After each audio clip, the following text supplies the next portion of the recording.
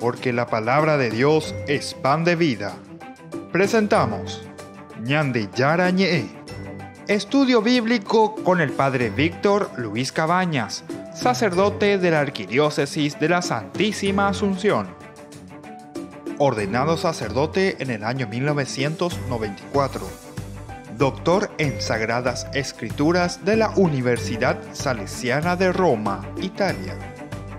Profesor de Teología en la Universidad Católica Nuestra Señora de la Asunción. El programa de hoy es presentado por Supermercado San Cayetano, su lugar de compras en Luque.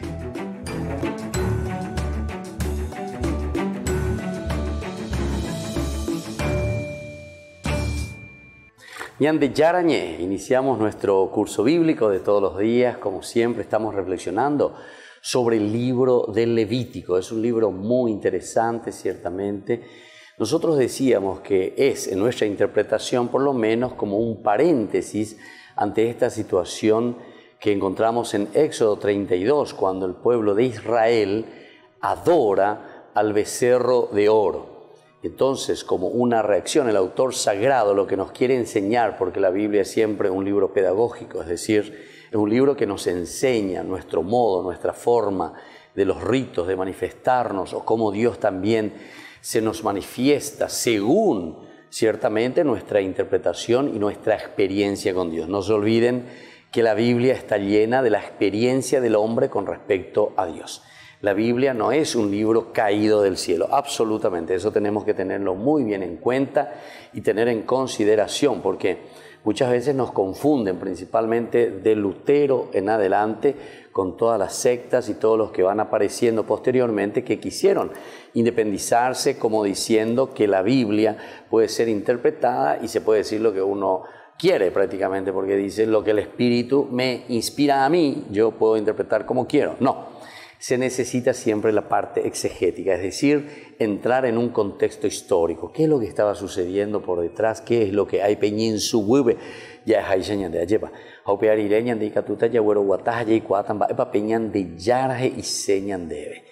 Y así, nosotros estamos con este libro de Levítico, como decíamos, como un paréntesis, les proponía porque si Israel no sabe cómo adorar a Dios, y ahora se está desviando del camino, incluso el mismo Aarón, Aarón siendo el primer sumo sacerdote, imagínense, Aarón es el que permite, porque el pueblo viene y le dice, danos, danos a alguien que vaya delante de nosotros. Y Aarón lo que está haciendo con el pueblo de Israel es cambiar a Dios la propia identidad. Nosotros tenemos que mirar en este sentido, es muy profundo y muy interesante, porque la verdadera idolatría es cambiar la identidad a Dios, cambiarle la identidad a Dios. Entonces, no quedamos simplemente en decir que la idolatría sea un muñequito, o sea una estatua, o sea no sé qué cosa. Eso no es lo central del problema bíblico, por lo menos. ¿eh? Ahora que otro, viste, que interpretan y dicen cualquier cosa o le hacen decir a la Biblia cualquier cosa, entonces eso tenemos que tener en consideración. Porque aquí decíamos que la verdadera idolatría es cambiar la identidad. Fíjense que Aarón en un momento, después de haber construido, después de haber hecho el becerro de, de oro con todos todas las alhajas con todo el oro que le habían ofrecido la misma gente, él dice, bueno, les reúne a Israel, Israel, ven aquí, vamos a tener un encuentro, le dice, ¿verdad? Vengan todos los de Israel y nosotros ahí le vamos a adorar, aquí yo te presento a la imagen de Yahvé, al Dios Yahvé. Eh, nosotros le vamos a adorar a Yahvé, pero sin embargo, Yahvé mostrado ahí en un becerro de oro. Ciertamente le está queriendo cambiar la identidad. Le ponemos a Dios en una identidad falsa, ¿verdad? Es una identidad falsa la que se está presentando. Y esto es lo que sucede siempre con nosotros también, porque no pensemos que el hombre puede vivir sin Dios. Hasta el ateo, como alguna vez el ateo dice, gracias a Dios, gracias a Dios soy ateo, gracias a Dios soy ateo, dicen algunos, ¿verdad? O sea, hace una forma este, esquifosa, dice el italiano, ¿verdad? ¿Qué quiere decir eso? Quiere decir que nosotros, por esa tendencia sobrenatural que tenemos, una tendencia sobrenatural que nosotros tenemos, sí o sí el hombre trasciende, el hombre busca siempre algo. Entonces le estamos sustituyendo a Dios. Ahí está. Es la sustitución. Vos le estás sustituyendo a Dios. Es una falsa identidad. Vos le pones al dinero, por ejemplo, le haces Dios. El dinero es tu Dios. El dinero es tu Dios. Entonces no es que no existe para vos una seguridad o en quien vos confíes o no confíes. Claro que sí. En este caso sería el dinero. O en el poder. Entonces, uno va detrás, ¿verdad? Detrás del poder. Y entonces busca los elementos que le puedan afirmar como persona en, ese, en esa tendencia trascendental que tenemos nosotros. Incluso en los problemas serios, ¿verdad? Que tenemos en nuestra propia vida. Y esto es muy inconsciente, muy inconsciente. Cuando nosotros renunciamos a algo de cierta manera, eso es como que nuestra psicología, nuestra propia vida, trata de compensar, no olvidar este aspecto. Siempre es como que tratamos también de compensar, de buscar algo que este, se ponga en lugar de aquello que nosotros habíamos renunciado. Y esto yo lo digo seriamente también para la vida religiosa, la vida sacerdotal, la vida de una vocación de entrega. ¿Por qué? Porque yo puedo renunciar, por ejemplo, al matrimonio, puedo renunciar a la familia, pero al mismo tiempo eh, yo busco a través de otros mecanismos compensar eso que yo he renunciado. Y entonces lo sustituyo, por ejemplo, a través del poder. Entonces, amandase, la sheja ea, la sheja haisha, como diciendo, yo renuncié a aquello, pero yo ahora me afirmo en esto. Y entonces lo que yo digo. Estas son situaciones muy importantes que tenemos que tener en cuenta. O si no, a la avidez del dinero, ¿verdad? Entonces, estoy sustituyendo lo mismo. Yo renuncio a algo. Entonces, yo digo que este, no me voy a casar, no tengo familia, etcétera, etcétera, pero después toda mi energía, esa energía de seguridad, esa energía de lo trascendente incluso, ¿verdad? O sea, toda mi seguridad y mi confianza lo pongo, por ejemplo, en el dinero, lo pongo en el dinero. Entonces, atención que esto es muy, eh, muy inconsciente también. Inconscientemente nosotros lo estamos haciendo así. Entonces, todos estos problemas nosotros tenemos que tener en consideración. Y cuando el libro eh, del Levítico nos está diciendo, esta es la forma como nosotros tenemos que adorar a Dios, justamente nos está queriendo enseñar, en primer lugar, que Dios sigue siendo el centro, el centro de nuestra propia historia, el único, ¿verdad? Eh, Dios es el único, eso tenemos que recordar. Ya hay esa conciencia ante toda idolatría en este caso, ¿verdad?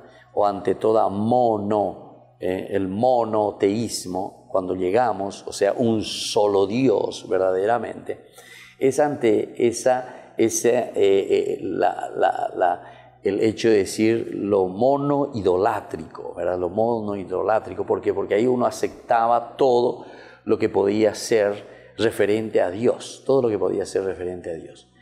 O sea, cada pueblo podía tener su propio Dios, todo lo referente a lo religioso y cada uno podía entender cómo quería su propia relación, religarse con lo trascendente. Sin embargo, en el monoteísmo ya damos un cambio más. Y es eso lo que nosotros estamos descubriendo aquí en esta parte del libro del Levítico. Volvemos enseguida con más. De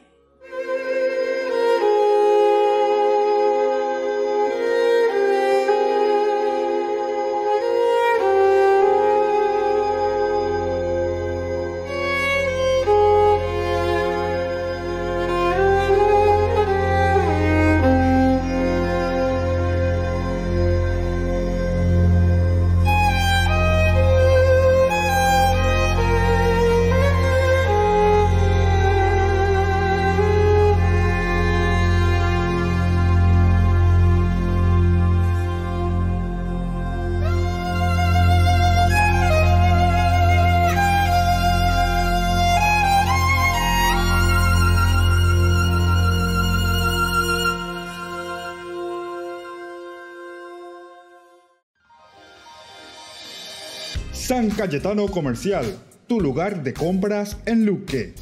Carnes, panificados, frutas y verduras, ropería y muchas pero muchas cosas más. Ventas al por mayor y menor. Encontranos en Facebook y dale me gusta para enterarte de las mejores ofertas. San Cayetano Comercial SRL.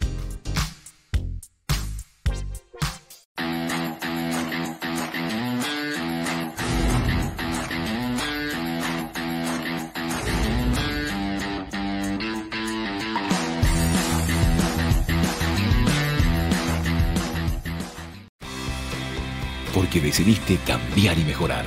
Elegiste ser quien siempre te propusiste. Tu fortaleza es la confianza. Y esa confianza te llevó a que ahora te llamen doctora. Transforma tus sueños en hechos. UPAP. Hacemos. Ayúdanos a sostener este espacio de evangelización. Depende de vos que esta evangelización siga a través de los medios de comunicación. Mensualmente podés abonar a esta cuenta bancaria y también a los giros Tigo. Recordá, este espacio es para vos. Muchas gracias por tu aporte. Fundación Ñande Yarañé presenta el estudio bíblico modular.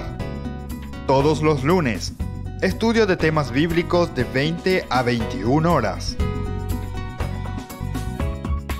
Sábados, estudio de capítulos bíblicos de 8.30 a 9.30 horas. Animador, Padre Víctor Luis Cabañas, doctor en Biblia. Te esperamos en la Casa de las Hermanas Vicentinas, Jejuí 1059 Casi Colón. Para más información, comunicarse al 0981 50 50 36. Estudio Bíblico Modular Ñandi Yarañe.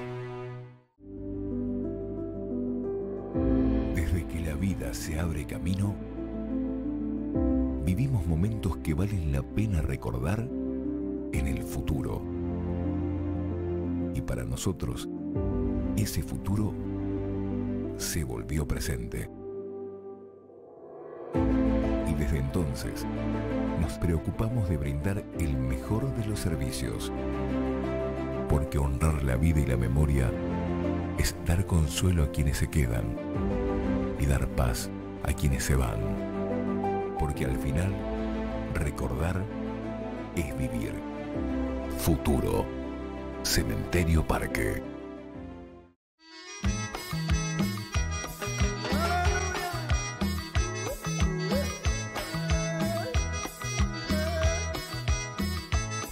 Jóvenes para los jóvenes en familia, muy muy buenas tardes. Estamos iniciando este programa que queremos compartir como siempre con ustedes, con todas las familias. De nuevo, nos encontramos en este domingo y con una visita muy especial.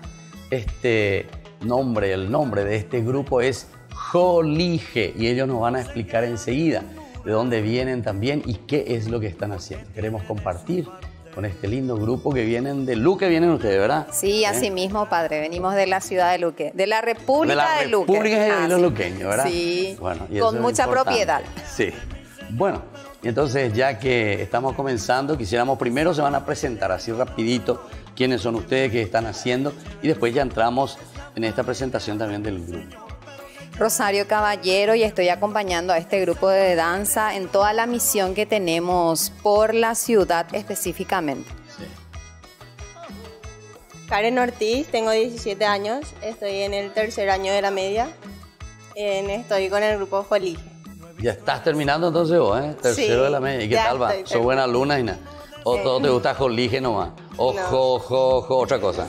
Soy buena alumna. Ah, bueno, entonces está bien. Bueno, y aquí tu nombre. Eh, mi nombre es Dulce Ortega, eh, tengo 14 años y estoy en el noveno grado. Noveno grado. O sea, ya está por pasar al otro, ¿eh? Bueno.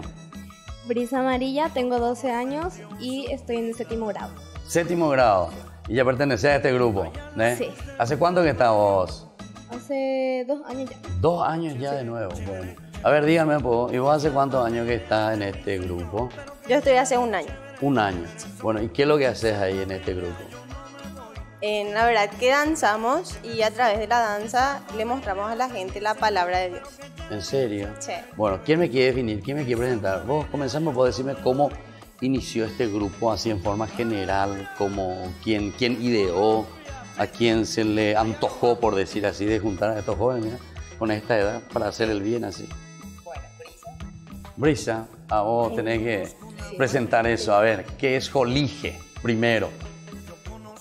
En primer lugar, Jolige Jóvenes Liberados por Jesús. Jóvenes liberados por Liberados por Jesús. O sea, vos ya te dejaste liberar por Jesús. Jesús. Tan tempranito. Sí, sí. ¿eh? Y el Movimiento Sagrada Familia de Nazaret buscó un espacio para los jóvenes en la capilla para que se sientan llamados a servir por medio de la danza y del teatro. O sea que ustedes están trabajando en una capilla Sí. en Luque. ¿Cómo se llama? Santo Rey.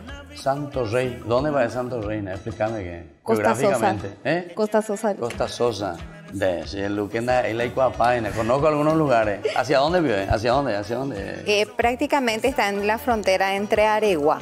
Ah, Sería la remonta y 600 metros está la capilla. Una o vez. sea, yendo ese nuevo camino que va a San Bernardino. no, sería para este lado. Sería ¿Cuál va a sería el otro? Antes del puente. Pero de ¿cuál, cuál- llegar, cuál- primero, ¿cuál de los caminos? ¿Cuál de los caminos? Sería la, la El ruta. que va hacia Areguá, el ese que va común hacia Areguá. antiguo. Luque Areguá antiguo. Bueno, exactamente. En la frontera es el arroyito ese. El arroyito. ¿Cómo se llama? Eh, y ese es el río, el, el arroyo Yucur. Yucri, ese, Yucri. Y ahí bueno. está la remonta. Y Ah, antes ese de la llegar- remonta, sí, se llama así. Así mismo. Bueno, yendo hacia aquí, hacia izquierda se entra.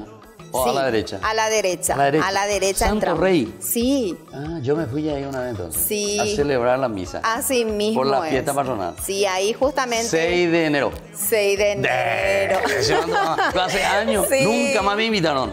No. Nunca más. Quiere decir que ya puedo bailar semisa. ¿no? No, padre, justamente nosotros era que bailamos Santo Rey, sí, ahora me ahí en acuerdo. una de las ¿Ustedes eran los que bailaron? Sí, Pero si ella tiene nosotros. 12, tenía 10 años. Nosotros, así mismo. así, así. Hace dos años por ahí. Sí, y después nunca mismo. más se acordaron de mí. Bueno, entonces, y explícame un poco, ¿cómo? Sí, ya conozco Santo Rey, está todo asfaltado ahora esa parte. Sí, Está lindo. hermoso, hermoso. Ahí, hermoso. antes la policía, o sea, de, la, de los militares, ¿verdad? Se Sí, entra a la an- derecha. antes entramos, asfaltado. sí, está todo Ah, asfaltado. ya, ya, ya.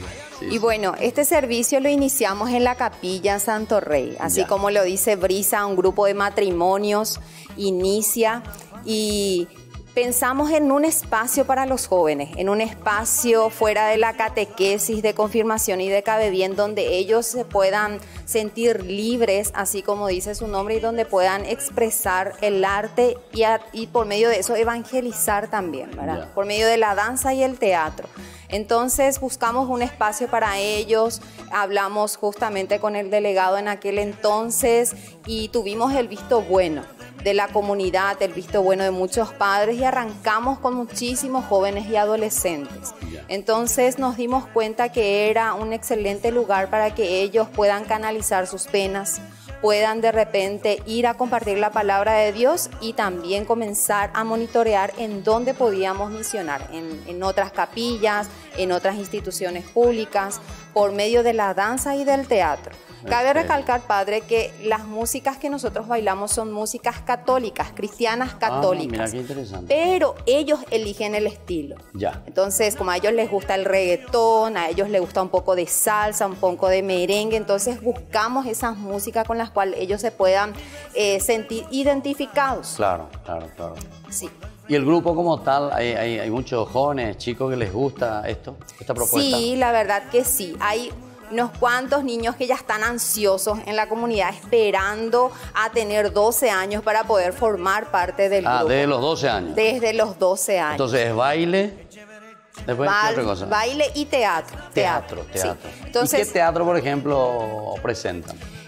Un teatro eh, que tenemos que de repente toca mucho en los lugares en donde vamos es de la lucha del bien y del mal. Y eso quien, ustedes lo escriben, Nosotros vamos eh, pensando de repente en qué es lo que vemos día a día. Entonces comenzamos a narrar una pequeña historia y buscamos las músicas que tengan relación con las debilidades del hombre, con las debilidades de los jóvenes de repente, ¿verdad? Con qué es lo que le ofrece la sociedad y vamos preparando y presentando una parte de cada tentación. Después aparece Jesús como signo de salvación dentro de la sociedad y dentro de la familia. Rescata al joven y el joven es evangelizador de otros jóvenes también. por eso Jolige, jóvenes liberados por, Por Jesús, así mismo. Entonces, lo que quería saber es si ustedes escribían, ¿verdad? El teatro. O sea que ustedes escriben, ustedes Realmente inventan. sí. Ustedes- Nosotros que vamos pensando. Buscan algún folleto, etcétera, etcétera, de eso ya No, escrito. Mira no. qué interesante, qué interesante. Bueno, vamos a hablar con los jóvenes. Vos me dijiste ya hace cuánto tiempo, hace dos años ya que vos estás. Sí. ¿Qué es lo que más te gusta de Jolige? ¿Qué es lo que te llamó la atención? Y prácticamente que puedo evangelizar a través de algo que a mí me gusta, que es el baile. ¿A vos te gusta bailar? Sí. Vos no estás en el teatro. También no O sea, teatro. hacen juntos, tanto Sí. teatro como baile. Sí. O sea, a vos ya te gusta evangelizar con los 12 años. Sí. ¿Y a quién le evangeliza? Y a personas que necesitan. Así, o sea, así a través del teatro, ¿verdad? De lo Sí. que estás haciendo. Y vos, explícame cómo vos entraste en el grupo. que- Bueno, eh, Vos tenés 14, me dijiste. Sí, yo tengo Ah, 14 años. Sí, sí. Eh, yo empecé con el grupo del matrimonio que em, eh, mis padres integraban el grupo. Ah, tus padres sí, luego. Entonces entonces- te agarraron tu oreja. Mi hija, o te va o, o no. No, no era. No, vos quisiste irte. Sí, Ah, porque a, mí, bueno. a mí me encanta bailar. Ah, te me encanta. encanta bailar y sé que puedo, puedo llamar a más jóvenes para que puedan hacer lo mismo que yo hago y para que se acerquen más a Dios, obviamente. Ya. ¿Y dónde, por ejemplo, vos ya te fuiste en otra parroquia, en otra iglesia, dónde le llamaron que vos te acordás que, que te gustó mucho participar? Em, ¿O solo ustedes hacen en su capilla? no, sal- salimos también. ¿Ah, sí? ¿Y dónde, por ejemplo, vos ya te fuiste? Eh, nos fuimos a grabar en, en Areguá. ¿A grabar? Sí. ¿Qué quiere decir a grabar? A grabar eh, nuestras coreografías. ¿Ah, sí? Sí, para, para lanzar en, en nuestro... eh, ¿CD? ¿CD? ¿O qué? ¿O. YouTube? sí, ¿O algo por el y se alza en la página de Facebook. ¿Ah, sí? A la cuenta. Yo tengo que ver ese, no tengo ligue. Bueno, aquí por lo menos ya estamos conociendo, ¿verdad? Y toda la gente también. Viste que hay que hacer publicidad de las cosas lindas, Claro. ¿eh? Bueno, entonces, ya ves. ¿Y tu caso cómo es? ¿Cómo es que vos comenzaste y quién te agarró y te llevó a este grupo? Bueno, a mí me invitó una prima y al verdad, la verdad que me gustó mucho porque ellos eran muy unidos. Así. Y simplemente me fui a mirar y me súper gustó porque te, te acogen como familia y era súper encantador. Entonces me quedé con ellos. ¿Cuántos Hasta- son en el grupo, me dijiste? En total, más o menos. Somos 15. 15. 15. Ya. Y ahí ustedes preparan en una familia, sus padres le acompañan, Nuestros padres nos acompañan. les gusta. Sí, ¿Eh? los amamos realmente. Y ustedes también tienen ahí chicos, yo no tienen chicos. No. no, no, no, no me cuente todo. Nah. ¿Y por qué no? Ah, Si, si hacen bien, hay que evangelizar primero a los chicos, ¿verdad? no, ¿cómo que no? Ahí hay que comenzar. Bueno, entonces estamos compartiendo con estos jóvenes que están viniendo desde Luque todavía. Luque Aregualén, toma Vejina, ¿verdad? ¿Eh? Están ahí en la frontera, ¿verdad? Se tiran al arroyo y ya son de, de, de Areguá. ¿Eh? Yo quería mover de Areguá, más lado Luque. Entonces les felicito, ¿eh? queridos jóvenes que están haciendo este apostolado, este trabajo tan interesante y tan bueno, ¿verdad? Jóvenes para los jóvenes es justamente eso, por eso que estamos contentos de recibirles.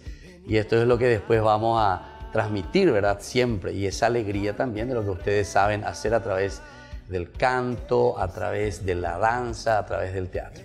Y volvemos nosotros enseguida con más jóvenes para los jóvenes en familia.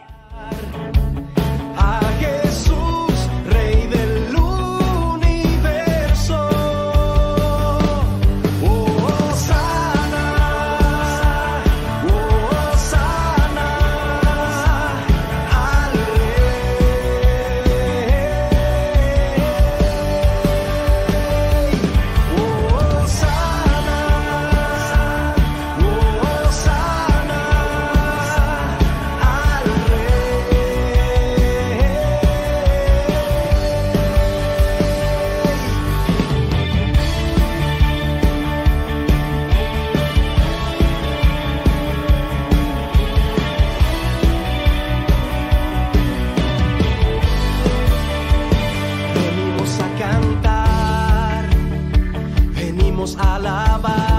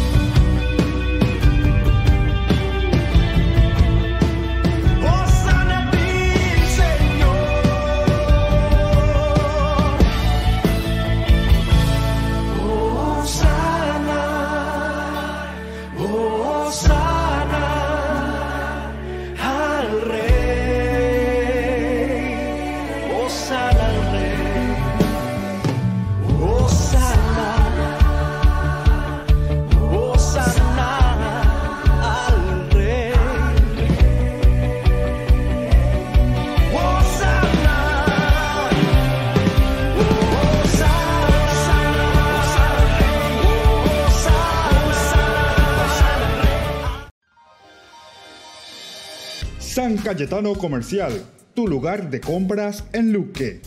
Carnes, panificados, frutas y verduras, ropería y muchas pero muchas cosas más. Ventas al por mayor y menor. Encontranos en Facebook y dale me gusta para enterarte de las mejores ofertas. San Cayetano Comercial SRL.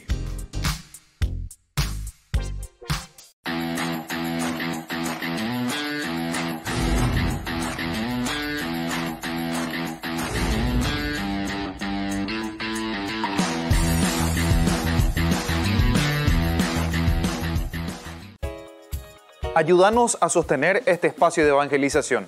Depende de vos que esta evangelización siga a través de los medios de comunicación. Mensualmente podés abonar a esta cuenta bancaria y también a los giros Tigo. Recordá, este espacio es para vos. Muchas gracias por tu aporte.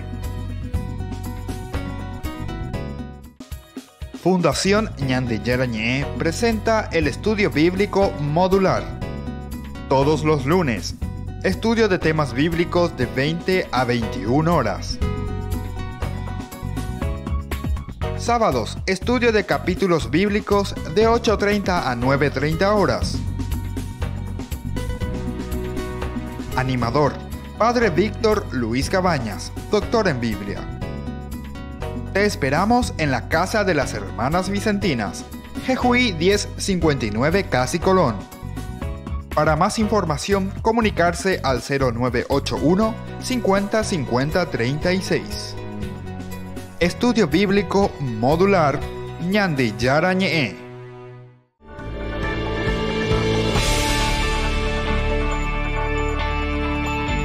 Seguimos con Yarañé. Nosotros estamos reflexionando el capítulo 11 en adelante. Hemos dejado el capítulo 10 y los anteriores también. Y ahora estamos hablando de la purificación, sobre todo la legislación sobre lo puro y sobre lo impuro. Los animales puros e impuros, los terrestres, y así comienza a enumerar. Entonces vamos a mirar primero como una pequeña introducción vamos a poner un poco las bases para entender después por qué se decide y por qué estos animales terrestres, por ejemplo, quiénes son puros y quiénes son impuros, ¿verdad? ¿Cuáles son los criterios, digamos, para que uno diga que este es puro y este es impuro? Incluso, recuerden que el libro del de, Nuevo Testamento, hecho de los apóstoles, principalmente cuando comienza a hablar de los animales, de lo que se puede comer y de lo que no se puede comer, también aquí hablaban mucho de lo puro y de lo impuro. En una de las visiones que tiene Pedro, eh, hecho de los apóstoles, después él mismo eh, recibe esa voz ¿verdad? del cielo que le dice, Pedro, ¿cómo es que vos vas a rechazar eso que yo te estoy ofreciendo? ¿Cómo es que vos no vas a aceptar? ¿De dónde vos sacás? ¿Cuál es tu criterio para decir que todo lo que yo creé o algunas cosas de lo que yo he creado, dice Dios, sea impuro y que lo otro sea puro? Interesante esto, interesante porque en el Nuevo Testamento este aspecto de lo puro y lo impuro se irá superando, se irá superando. Antes entonces eran también por otras cuestiones, incluso cuestiones antropológicas, cuestiones del aspecto también de la salubridad. Entonces eh, hay que entender dentro del contexto histórico, dentro del contexto también cultural de una nación, porque la Biblia se escribe dentro de una cultura y dentro de una historia. Ahora, miremos un poco cuáles son los criterios de distinción y después de eso vamos a comenzar a leer y vamos a, procurar entender estos criterios. Eh, ¿Qué hace algo que sea puro o impuro? ¿Qué es lo que hace que algo sea impuro? ¿Por qué yo le tengo que llamar a esto que sea puro? ¿O por qué a esto le tengo que llamar que es impuro? No tengo que aceptarlo. ¿Quién lo determina? ¿Quién determina? ¿Y por qué razón lo determina? Esto como algo puro o esto otro como algo impuro. La literatura extra bíblica, es decir, fuera de la Biblia, todo aquello que se nos enseña a través de otras culturas, a través de otros libros extra bíblica del judaísmo, da diferentes razones. Tenemos diferentes razones ¿de? dentro de una literatura que está fuera de la Biblia, porque la Biblia entonces nos dará también su propia razón y nos dará tampoco su propio criterio, ya sea por cuestiones de enseñanzas, éticas o arbitrarias, ya sea por cuestiones de enseñanzas éticas o arbitrarias. Aquí entonces enseñamos en Dama Yajahojina, Yaeshamaina, Mooto boyapitagina, ¿verdad? O sea, la cuestión de la ética y la cuestión también en un sentido arbitrario. ¿Quién dice que es puro o quién dice que algo es impuro? La idea general, no nos olvidemos de una idea amplia, general, que abarca todo, eh, que permanece en el Levítico para distinguir lo puro de lo impuro, parece ser la alteración del orden creado según su especie. Cuando se altera el orden creado según su especie, ahí parece entonces que viene algo que es impuro o se lo considera impuro. Lo que nosotros decimos, pea de pura raza, tenapeanda y de pura raza. Ah, y entonces si este es o este no es de pura raza, nosotros ahí vamos a distinguir. Es una forma, entonces es un criterio. Cuando hay, eh, cuando hay este, esa alteración del orden, alteración del orden creado según su especie. Por ejemplo, el avestruz, ¿por qué el avestruz es impuro? Porque tiene alas, pero no vuela. Lleva. Reflexionaba Tiene alas, pero no vuela. Y aquí entonces el orden de la creación está alterada. ¿Por qué está alterada este orden de la creación? Porque si tiene alas, según, según la naturaleza, el ala significa que esa ave tendría que estar volando. Sin embargo, no vuela, ¿verdad? Y entonces te da eh, este criterio para decir, hay alteración aquí, alguna alteración, alguna alteración. Algo no está funcionando, ya, ya, lleva. Debería volar, entonces el avestruz. El camarón o la langosta están en el agua. Camarón o langosta están en el agua. Y para que sean comestibles deberán tener escamas y aletas. Sin embargo, no las tienen. Deberán tener escamas y aletas. Escamas y aletas. Este es un criterio ¿verdad? que ellos le dan. Si no tiene esto, entonces se vuelven impuros. ¿eh? Y justamente estos animales no tienen las escamas y las aletas y por lo tanto hay una alteración del orden creado según la superficie, ¿verdad? El avestruz, ya dijimos, porque tiene alas pero no vuela, debería volar. El, camarón o la langosta, ¿por qué? Porque están en el agua, para ser comestibles deberían tener escamas y aletas, sin embargo no lo tienen, ¿verdad? Sin embargo no las tienen. Por otra parte, tiene que ver también el valor y estima del animal entre los paganos. Valor y estima de ese animal con respecto a los paganos. Es decir, lo vale minojina, pero es impuro. Lleva, lo vale minojina. Es una cuestión también entonces de comercio aquí, ¿verdad? Por ser muy valorado entre los paganos.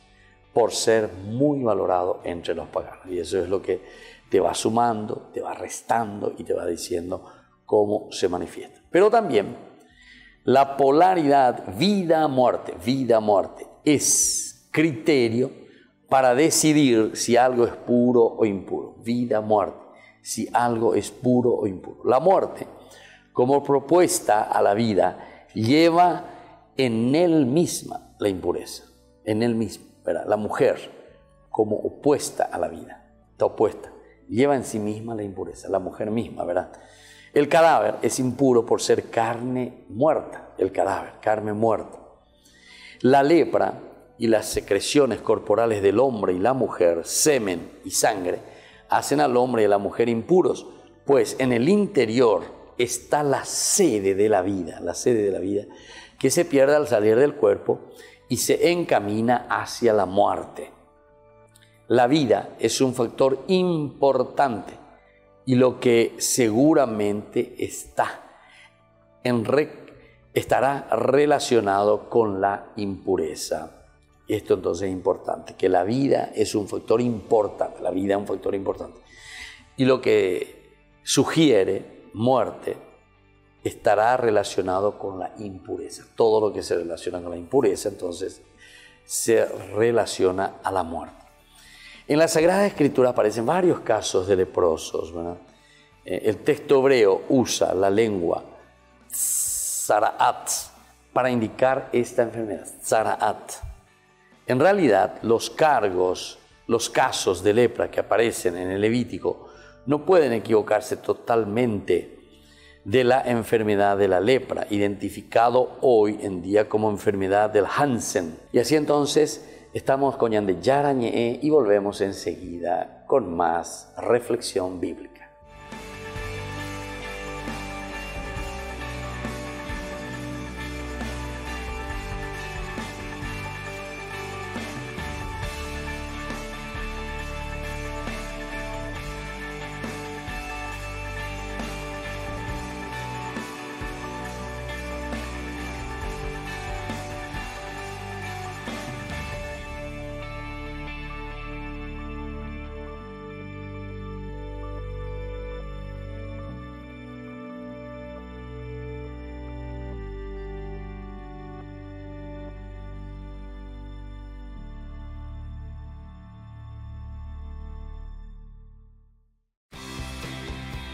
Decidiste cambiar y mejorar. Elegiste ser quien siempre te propusiste. Tu fortaleza es la confianza. Y esa confianza te llevó a que ahora te llamen ingeniero. Transforma tus sueños en hechos. UPAP. Hacemos. San Cayetano Comercial, tu lugar de compras en Luque. Carnes, panificados, frutas y verduras, ropería y muchas pero muchas cosas más. Ventas al por mayor y menor. Encontranos en Facebook y dale me gusta para enterarte de las mejores ofertas. San Cayetano Comercial SRL.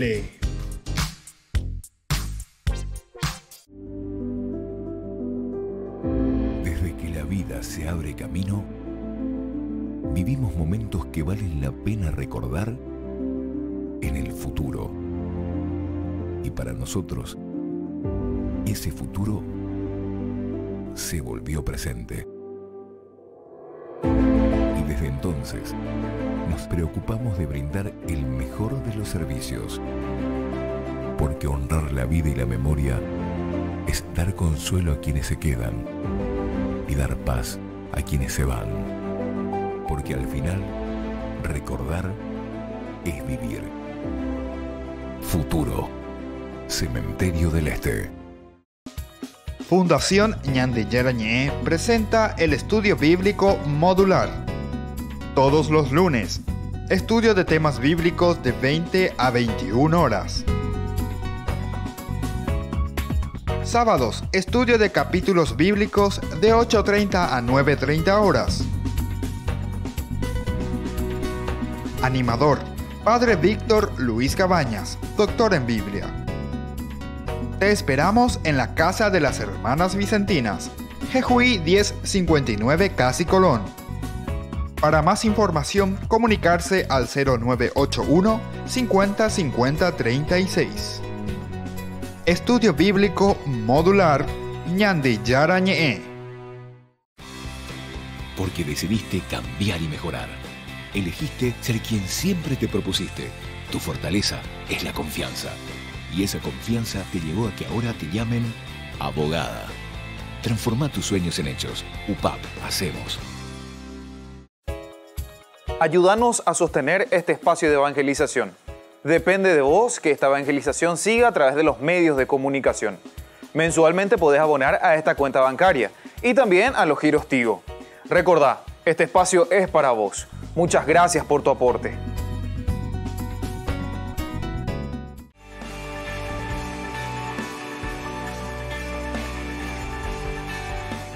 Seguimos con Ñande Yarañé, estamos reflexionando ¿verdad? de nuestro curso bíblico de todos los días, estamos en el libro del Levítico, estamos en el capítulo 11 donde reflexionamos sobre aquello que es puro y aquello que es impuro. Ahora nosotros queremos hablar justamente sobre la cuestión de la purificación, cómo se da esta purificación, ¿verdad? La purificación de toda impureza que hay que hacer, ¿verdad? Implica tiempos, implica tiempo, no es que se puede también uno purificar así de un momento a otro. Esto ya nos da a entender que nuestra vida misma, ¿verdad? porque el cristianismo pro- procede, pero directamente del judaísmo, ¿verdad? del Antiguo Testamento, se nota un proceso, se nota una historia de salvación. Esta es la historia de la salvación que nosotros necesitamos entender para que no nos espiritualicemos pero en un sentido, yo estoy diciendo hasta peyorativo y negativo, ¿verdad? Cuando uno se vuelve espiritualista, ¿eh? un espiritualismo, pero desencarnado, desde ese aspecto estoy hablando, es decir, no entra en una historia de salvación. Entonces esto se nos vuelve bastante peligroso, ¿verdad? Porque, y porque nosotros hacemos decir a la Biblia aquello que nosotros estamos pensando vivir o que nosotros estamos pensando que está diciendo la Biblia, pero no es así, porque estamos simplemente proyectando un espiritualismo nuestro. Por eso la exégesis es esencial y fundamental. En la exégesis procuramos entrar en un contexto histórico, saber lo que el autor sagrado, la comunidad quiso enseñarnos o se estaban enseñando unos a los otros, ¿verdad? Y desde ahí luego traer y desde ahí hacer todas estas acotaciones tan importantes, ¿verdad? Para una aplicación concreta también de la vida del hombre. Por lo tanto, la purificación de toda impureza implica tiempos. Por ende, eh, los siete días de haber cesado lo que le ocasionaba. A los once días, siete días, siete días, siete días, entonces, en que debe ser purificado. Los baños rituales, por ejemplo, ¿verdad? el lavado de vestiduras, el ofrecimiento de los sacrificios por el pecado de acuerdo a la gravedad de la impureza o según también las condiciones económicas. Bueno, miremos un poco una reflexión de la Mishnah de los judíos, lo que nos dice con respecto a algunas discusiones rabínicas sobre la pureza de los alimentos, por ejemplo. Si la parte externa de un recipiente ha contraído impureza por contacto con un líquido, dice Eliezer, que hace impuros a los líquidos, pero no hace evitar qué cosa. Y justamente no hace evitar esa gracia, esa que proviene, ¿verdad? Y que está por detrás en esa significancia. Eso no hace inválido a los alimentos, sino que hay que mirar lo que hay por detrás, ¿verdad? ¿Qué es lo que está queriendo decir? Simeón, hermano de Azarías, dice que no es ni de un modo ni del otro, sino que los líquidos que han contraído impureza en una vuelta y hacen inválida la ofrenda en otra vuelta. Porque éste no podría decir, lo que te hace a ti impuro no me hace a mí impuro, pero tú si me comunicas, pero tú sí me comunicas la impureza. Bueno, ese es la Mishnah entonces, Tjorot 8.7. Ahora miremos con respecto a la purificación. Por ejemplo, la mujer parturienta. Si es pobre, puede ofrecer, dice, un par de tórtolas o pichones en lugar del ganado menor para su purificación. ¿Se acuerdan con respecto al leproso que encontramos? Que ha sanado debe ofrecer a los siete días de haber sido examinado tres corderos tres corderos, una ofrenda cereal y aceite para la purificación. Pero si es pobre, se le pide un cordero y dos tórtolas de pichones, junto con ellas, con esta ofrenda de cereal y de aceite, para el hombre y la mujer que han dejado de tener hijos. Y para esa mujer evidentemente que ha dejado de tener hijo y ya no tiene el flujo necesario, su purificación se completa cuando ofrece dos pichones o tórtolas, uno por el pecado y otro en holocausto. A los siete días que ha cesado el flujo, en todos los casos debe cumplirse el sacrificio por el pecado y el holocausto y presentarse ante el sacerdote. La purificación se completa cuando se han ofrecido los sacrificios. La persona se convierte en un miembro recuperado y es reincorporada a la comunidad y a la familia de las cuales están eh, o estaban excluidos. Bueno, esto es entonces con respecto a la purificación, eh, que, te, que te saca, te excluye, te saca de tu mismo grupo humano. Y esto es importante tenerlo en consideración, ¿verdad? O sea, la rigurosidad de lo puro y de lo impuro. Ahora, nosotros vemos en el Nuevo Testamento que ahí parece algo contrario, ¿verdad? Porque Jesús más que excluir de la comunidad, ¿qué es lo que hace? Jesús lo que quiere es incluirlos, volver a incluirlos. Es, eh, este, es una, un, cambio total, ¿verdad? De la mentalidad, tanto comparando el Nuevo con el Antiguo Testamento. Jesús reinserta la vida comunitaria. En tiempo de Jesús los leprosos estaban excluidos de la comunidad para que no contaminaran a los demás no podían entrar en Jerusalén ni en ninguna otra ciudad porque la enfermedad los hacía impuros. La persona sana y pura que tocara a un leproso también quedaba impuro, por lo tanto no se le debía tocar. Aparte del dolor físico de la enfermedad de la lepra y la exclusión social del enfermo, se agrega también su relación a qué cosa? ¿Eh? También de esa expulsión, de esa relación de expulsión de todo culto religioso. La lepra, al igual que otras enfermedades, eran consideradas en castigo fuera de las ciudades, el templo y las sinagogas. Pero ellas, todas estas condiciones de expulsión son eliminadas por Jesús. Él rompe los esquemas tradicionales y los evangelios son testigos de ellos toca al leproso. Es tocado entonces por una mujer con flujo de sangre. Los curas y lo, los cura, los cura y los reintegra, o sea, lo vuelve a poner dentro de la sociedad en la que vivía, a la vida comunitaria, como reintegra tantos otros enfermos y endemoniados, sanados o perdonados sus acciones son subversivas en su tiempo y escandalosas para quienes ostentaban la defensa de la fe en Dios.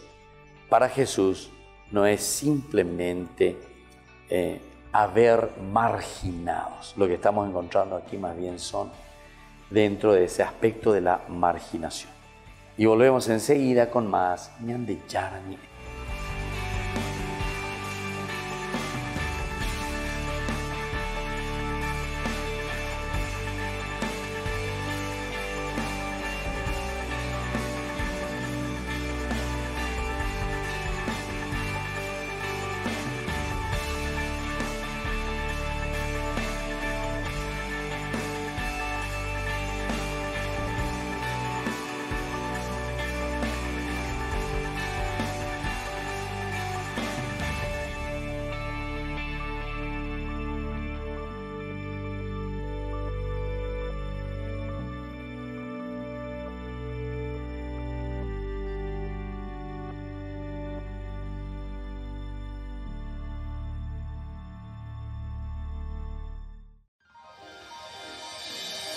San Cayetano Comercial, tu lugar de compras en Luque.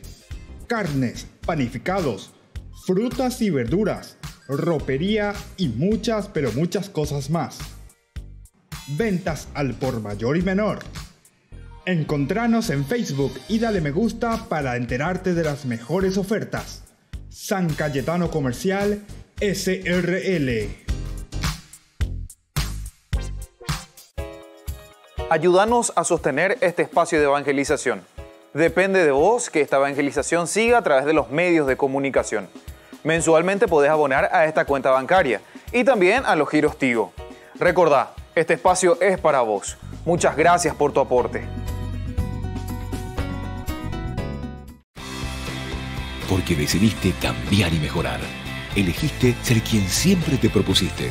Tu fortaleza es la confianza. Y esa confianza te llevó a que ahora te llamen arquitecto. Transforma tus sueños en hechos.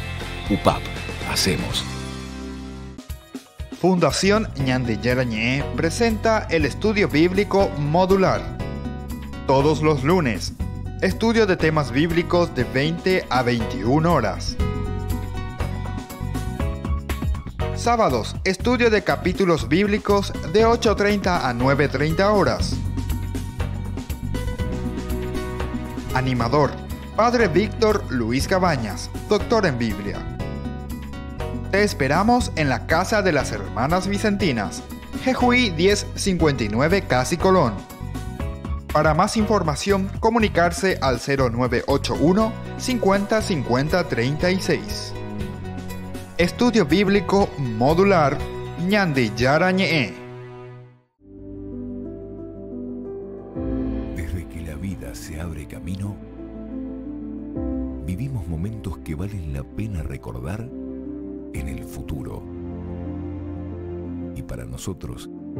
Ese futuro se volvió presente. Y desde entonces, nos preocupamos de brindar el mejor de los servicios. Porque honrar la vida y la memoria es dar consuelo a quienes se quedan y dar paz a quienes se van. Porque al final, recordar es vivir. Futuro. Cementerio Parque.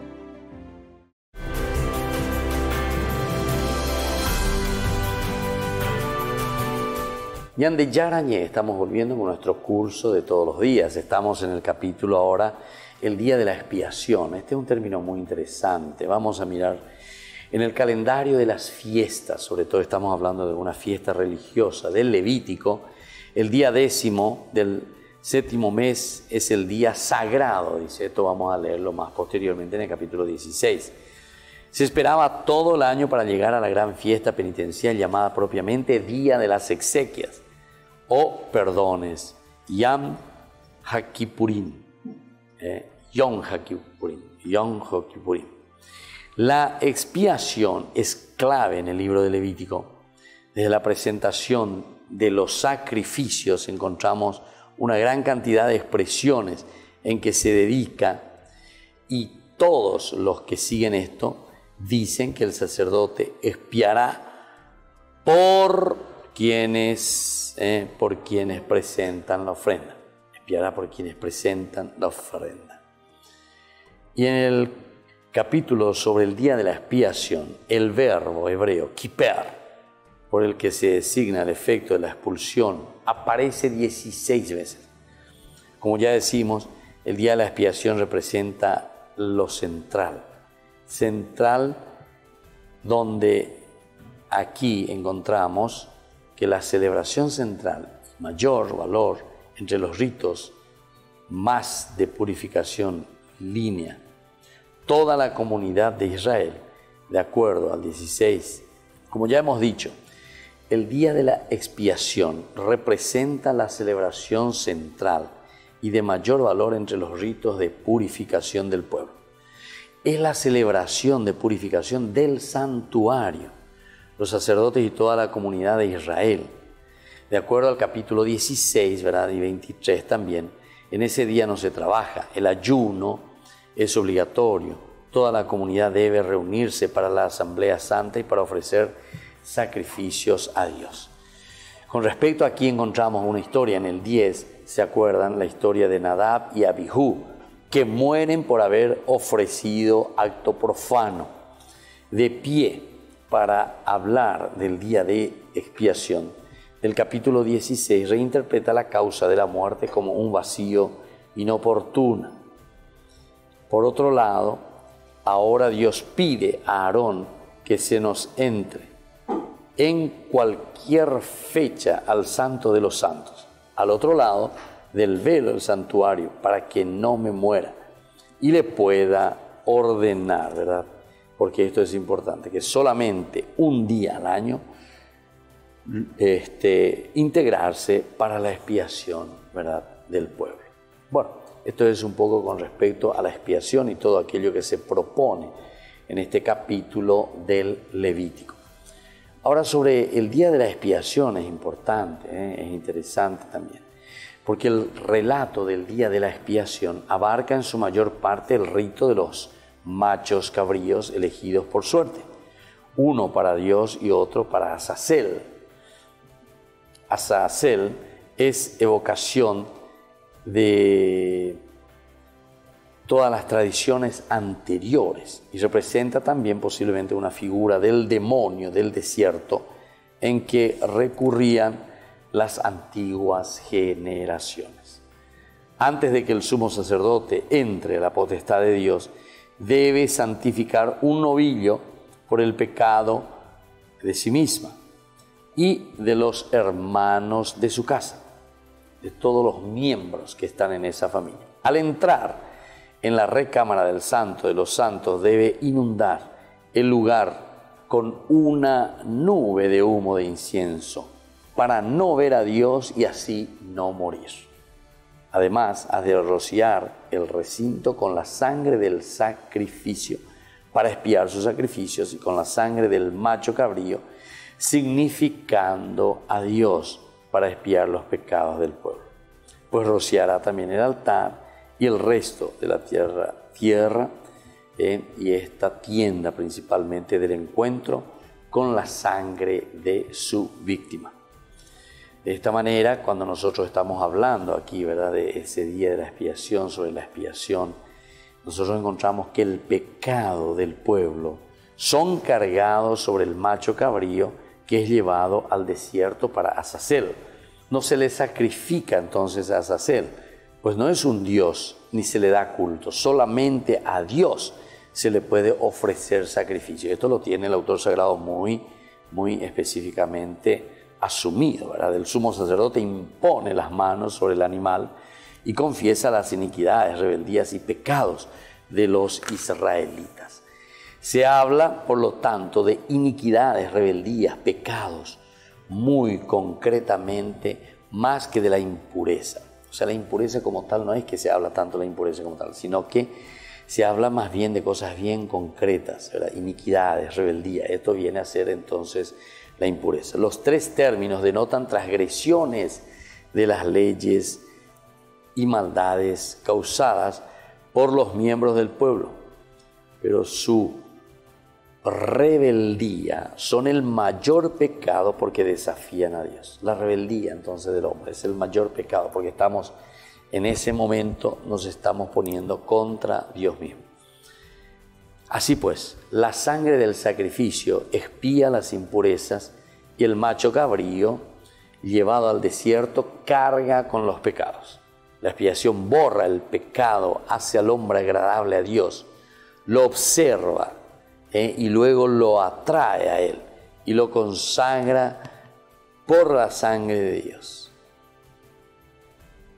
De esta manera Dios se revela como el Dios del perdón.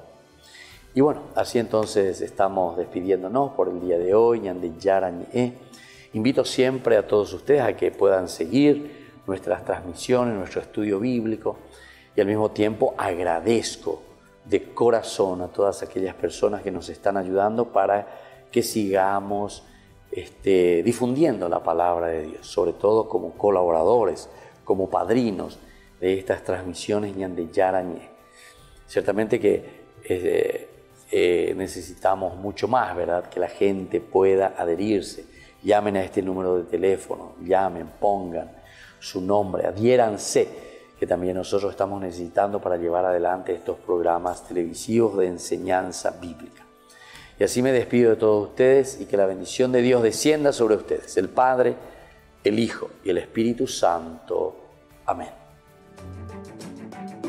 Hasta aquí, ñande yarañe, estudio bíblico con el padre Víctor Luis Cabañas, doctor en Biblia. Este programa fue presentado por